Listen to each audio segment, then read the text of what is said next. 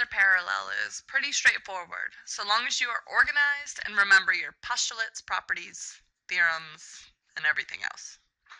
So let's take a look at the following proof as an example. Here, we have it appears to be two triangles. What could they possibly have to do with parallel lines? Well, let's see. The line segments that we are supposed to prove parallel are two sides of the triangles. So let's extend those sides so that we can really see what we're doing. Extending them also helps our brain recall the facts that we know about parallel lines. We can recall that there are five major ways to prove that lines are parallel. You can show that the alternate interior angles formed by a transversal are congruent.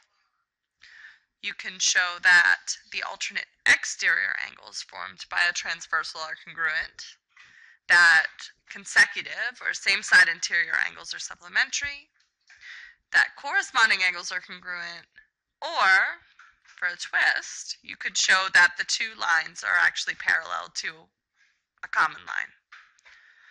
We can rule this last option out because I really don't see another line that they could possibly be parallel to.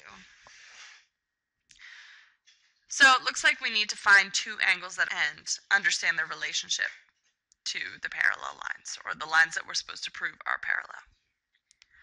So let's start with what's given. And to do this, let's mark up the diagram. Using a different color really helps. Huh.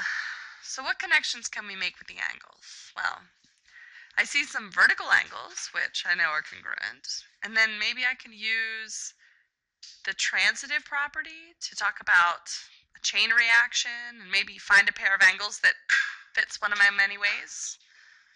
Well, sounds like a good start, so let's begin. We start with one of the given pieces of information.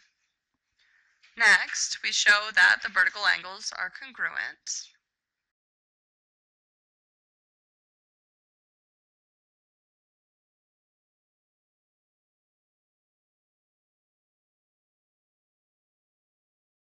And then we bring in the next piece of given information.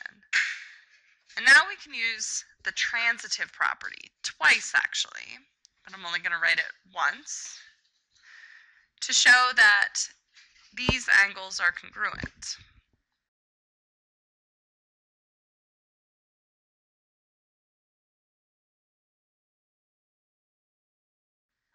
So we cut out two middlemen. And now that we know that these two angles are congruent, let's take a look at them in the diagram to fully understand the relationship between them and the parallel lines. Well, since they form this Z shape, I know that they're alternate interior angles. And since I've already shown that these guys are congruent, I know now that I can use the alternate interior angles converse theorem to prove that the lines are parallel. And I'm done.